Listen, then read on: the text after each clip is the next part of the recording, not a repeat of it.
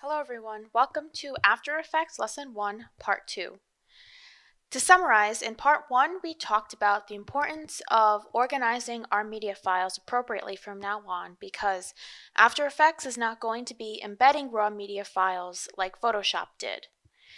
We also created two folders on our external hard drives, After Effects Lesson 1, and then within that folder we created this folder forest demo, all in preparation for the demonstration that's going to come in part three of this lesson series. But in this part, in part two, we are going to explore the interface of After Effects, and I'm going to go over some important terms and definitions that you need to know in order to have a basic understanding of After Effects capabilities. So with that being said, let's go ahead and launch After Effects so that we can start to get a feel for the interface. So when you launch After Effects, if you get any kind of pop-up intro or tutorial window, just go ahead and close that. We don't need that. But this is pretty much what you should see when you open After Effects. This is the default workspace. And by definition, After Effects is a digital visual effects and motion graphics post-production software. To repeat, after Effects is a digital, visual effects, and motion graphics post-production software. It works in conjunction mostly with Adobe Premiere Pro, but it is also compatible with Photoshop and Illustrator files. After Effects is mainly used for animating purposes, and I want to point out that animation encompasses more than just cartoon or Disney type animation.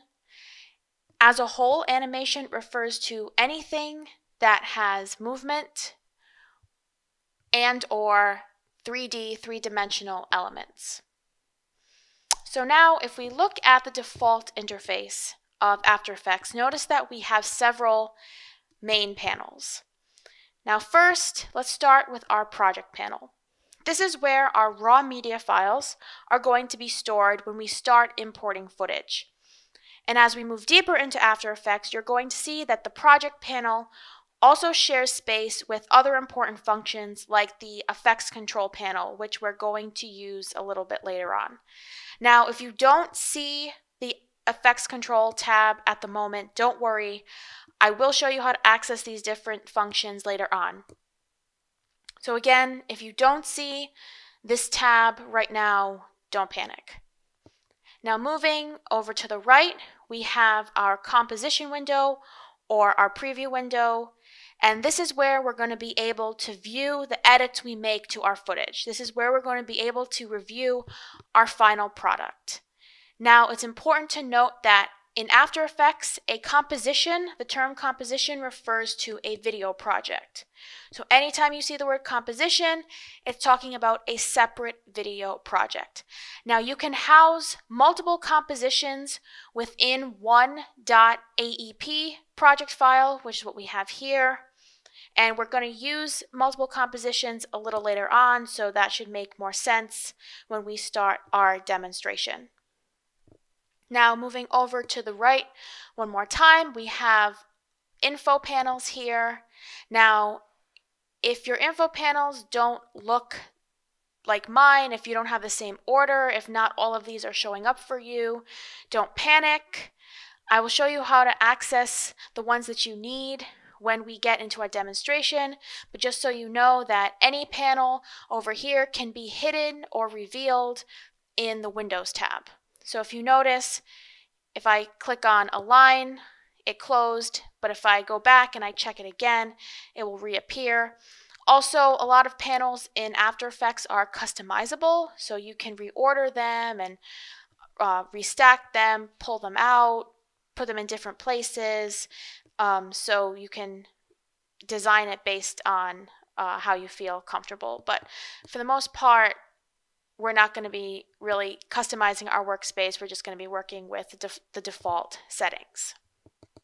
Now, if we move to the lower half of our interface, first we have our timeline section. This is where you're going to be dropping files that you import into your project panel or your raw media bin, and you're going to drop those files into the timeline. Now, think of this section like the layers panel of Photoshop. So just like layers were the building blocks of Photoshop, the same is true in After Effects. Layers are the elements that make up our After Effects compositions. So without layers, a composition would be empty. It would be like this. So as you drop files from your project panel into the timeline, you will see layers start to stack up. And now the same rules regarding stacking order that we experienced in Photoshop also applies in After Effects too. So remember the top layer is always going to obstruct or hide what's underneath it. Now moving to the right to this long rectangular space here, this is what we call our workspace or our sequence bar. Now this is where you are going to actually be making your edits and implementing animation techniques to the layers in the timeline. And of course, the changes that we make in this sequence bar are going to be able to be previewed in our comp window. Now, before we wrap up this part of the lesson, there's one more thing that I want to point out. Notice as I clicked around to the different panels, a blue outline formed around them. Now this blue line signifies which panel is currently active at the time. Now if you ever find yourself unable to access a certain window or make a particular edit, the first thing you should always check is if the right panel is active at the time.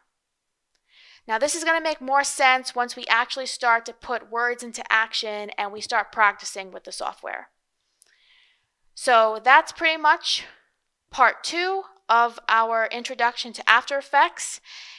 In preparation for part three, there's one more thing I want to do with you. So I want to save this window. I want to save this file in the forest demo folder that we created together. So if we can all go to File, Save As, Save As, and now our Save As window is going to pop up name this forest demo and then make sure you are putting it in After Effects Lesson 1, forest demo. Make sure you are saving it in the same place where you downloaded the raw footage files.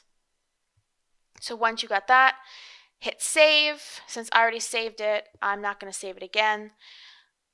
And now we are ready to jump into our demonstration. So when you're all set, click on part three and let's start animating.